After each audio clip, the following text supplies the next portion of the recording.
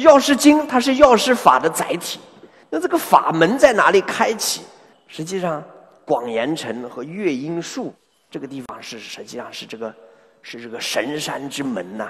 广严城的这个梵文还有一个秘密的意思，就是最清净之金刚大法性。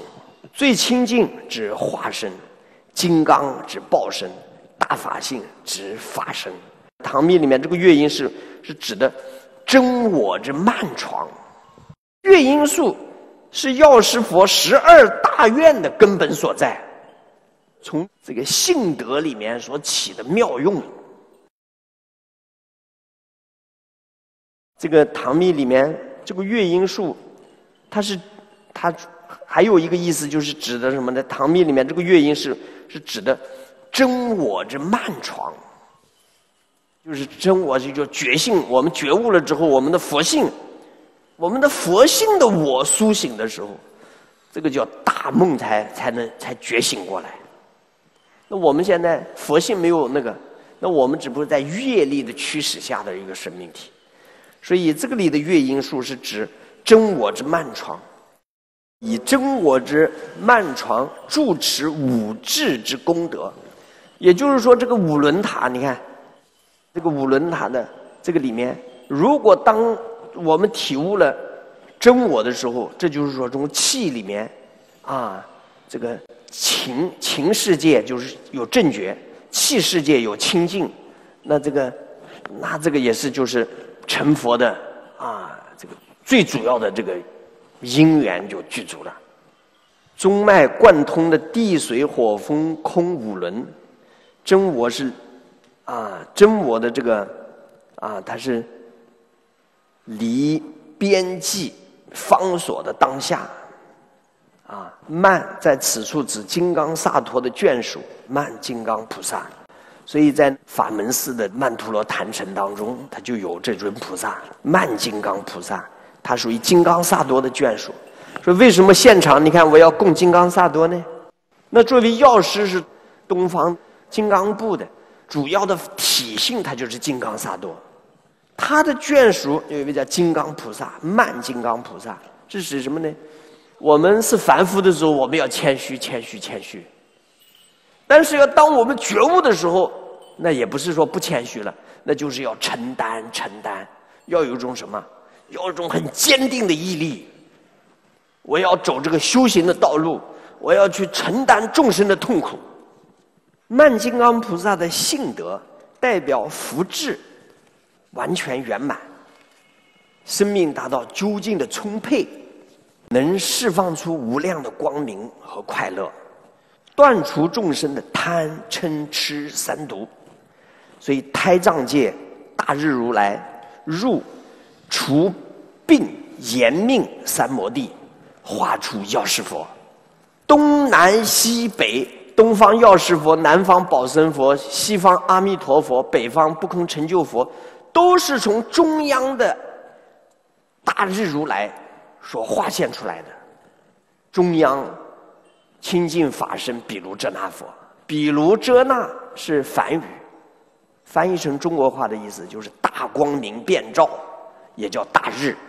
所以转变色身，则涉及胎藏界的五字延伸观。这五字延伸，你看就是像这个五轮塔的这个每一个地水火风都有一个字去代表。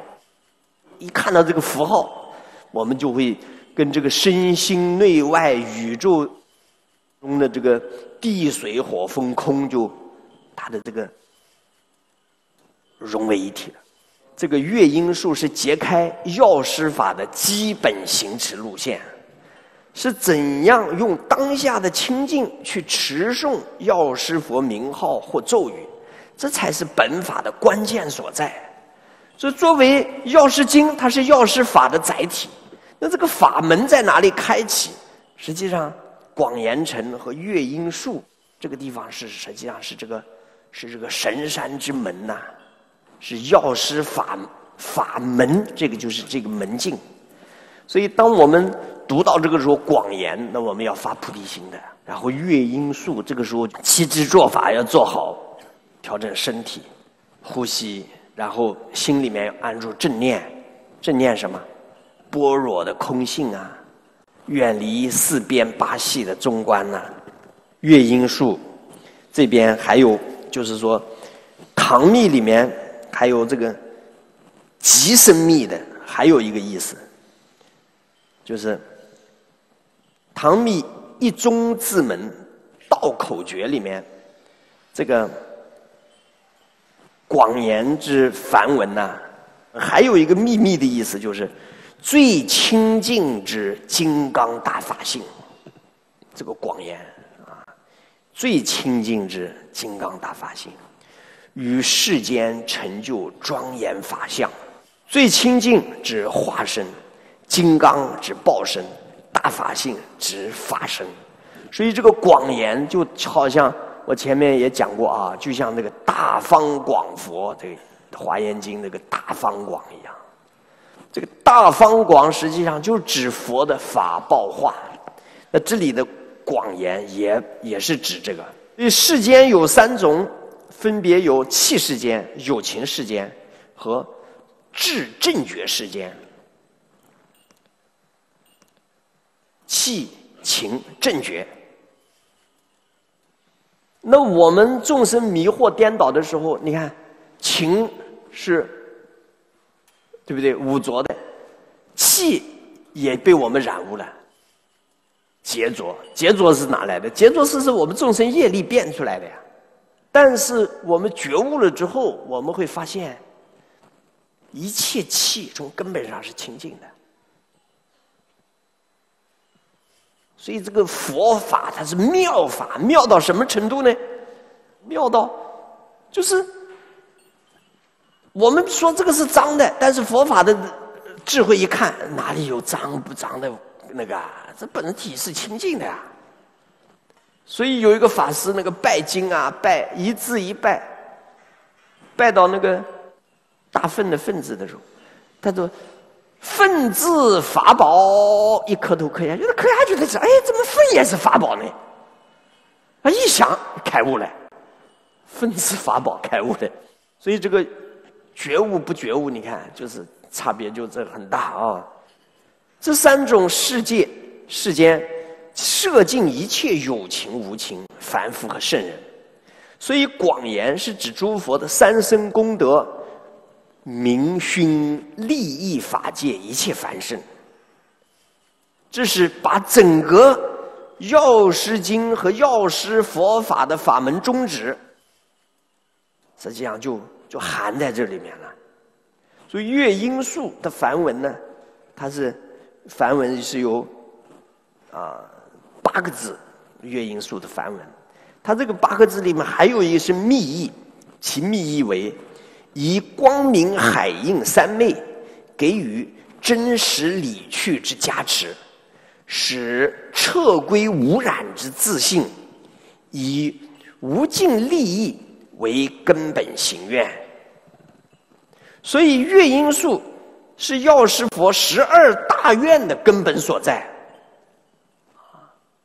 是从这个，从这个，这个性德里面所起的妙用，所以这个是药师佛全体性德的凝聚体。用无上瑜伽部来说，广严城月音树，它也是指我们众生都具有的三脉七轮，但是它没有开显。这个世间也有人说：“哦，我办学习班，打通任督二脉。”那我就说，还打通任督二脉？你有本事把死人任督二脉打通的，对不对？那活人本来任督二脉它就通的，那只不过我们没有意识到。那我们要修的，那就是我们强化任督二脉，我们只不过是强化它，甚至我们把它变成一种理性的，我们变成一种习惯，我们怎么去强化训练任督二脉的这种运行？广延成月阴数，它也可以成为三个方面：是凡夫的世俗中脉，觉悟中观之后，就是见道所证到的。法性中脉，身内中央有一中脉，从彼分出脐部幻化轮、心间法轮、喉间受用轮、头顶大乐轮，这四轮犹如散符一般。脐部幻化轮有六十四脉半，半端朝上。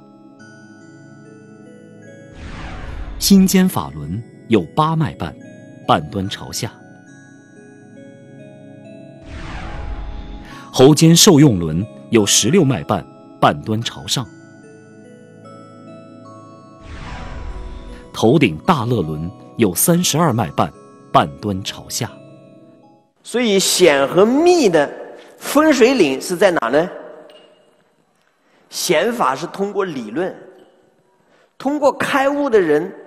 比如说禅宗的公案啊，要啊，我们念佛的圣号啊，乃至持佛的心咒啊，说礼忏呐，我们供养啊，然后比如说这样子，与这个什么，就是你对境是三宝，甚至是善知识，有一位善知识，他是开了智慧的，他的法性中脉是现前的。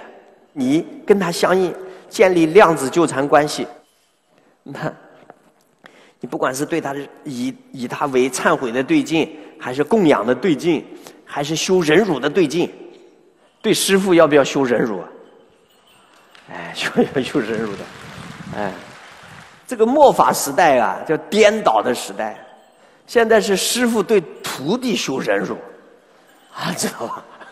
不是徒弟对师傅修忍辱。本来你供养三宝也是很正常的，但是我们现在都不敢提供养两个字啊，还不敢提啊。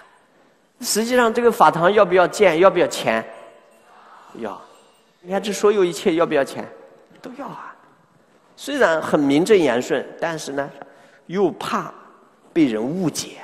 那我们有时候就要得故作清高，对吧？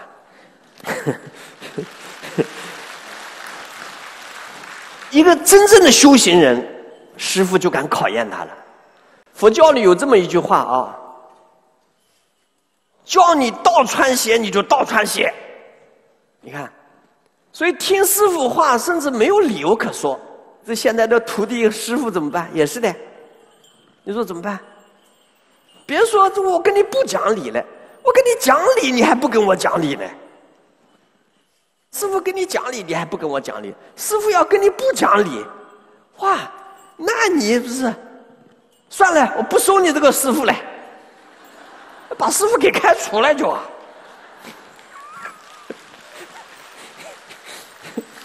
你说为什么师傅要不讲理呢？